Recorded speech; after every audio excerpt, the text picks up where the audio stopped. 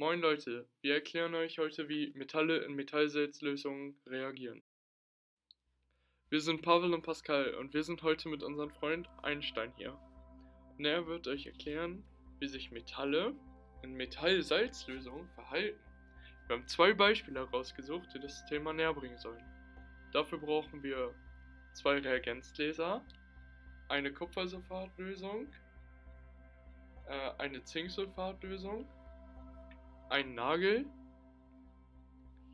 äh, Kupferspäne, ein Reagenzglasständer und eine Pipette. Zuerst brauchen wir ein Reagenzglas und packen ihn in den Reagenzglasständer. Jetzt brauchen wir eine Pipette und holen die Kupfersulfatlösung und geben sie in das Reagenzglas hinein. Beim ersten Experiment nehmen wir den Eisennagel und tun ihn in die Kupfersulfatlösung. Nach einigen Sekunden sollte sich eine bräunliche Kupferschicht um den Nagel herum bilden.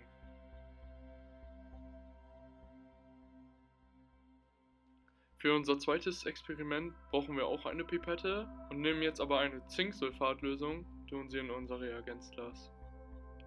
Jetzt nehmen wir Kupferspäne und legen sie in diese Zinksulfatlösung hinein.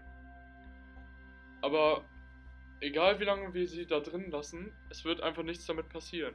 Und wir werden euch gleich in dem nächsten Clip erklären, warum, woran das liegt.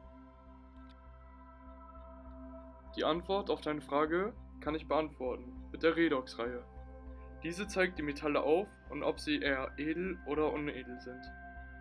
Wenn das Metall edlere Ionen hat, dann setzen sich die Ionen aus der Lösung dort ab. Aber wenn die Lösung edler als das Metall ist, passiert nichts, weil keine Ionen abgegeben werden können. Die Ionen in der Lösung werden zu Atomen reduziert. Dadurch wird die Lösung nicht mehr so blau sein, also die Blaufärbung nimmt ab. Bei den Teilchen am Nagel wird eine Elektronenübertragung durchgeführt. Die Kupferionen nehmen zwei Elektronen auf und sind dadurch zu Kupferatomen reduziert. Das ist die bräunliche Schicht am Nagel, die wir euch vorhin gezeigt haben. Die Eisenatome im Eisennagel sind die Elektronatoren. Sie sorgen dafür, dass die, die Lösung gelb färben und die geben jeweils zwei Elektronen ab. Bei dieser Lösung passiert nichts.